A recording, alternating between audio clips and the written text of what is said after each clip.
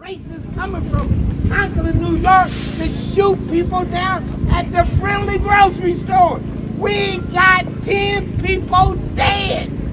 I agree with you. Ah! So let's talk about how to stop that. I agree with yeah, you. Yeah, if we're going to stop I- that, then we got to prepare for I a fight. I agree with you. 100%. We got to prepare for a fight.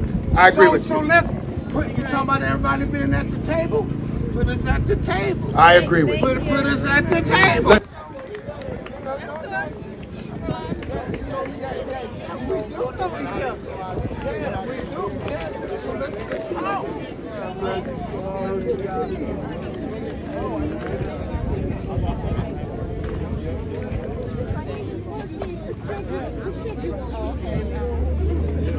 Yeah, if you buy some bullets, if you buy some bullets, then it will stop 10 people dead.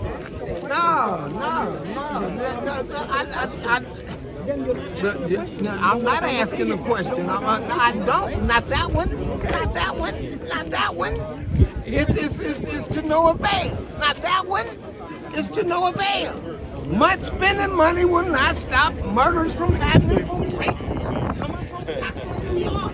Don't don't don't don't don't don't don't don't give me that uh, that BS.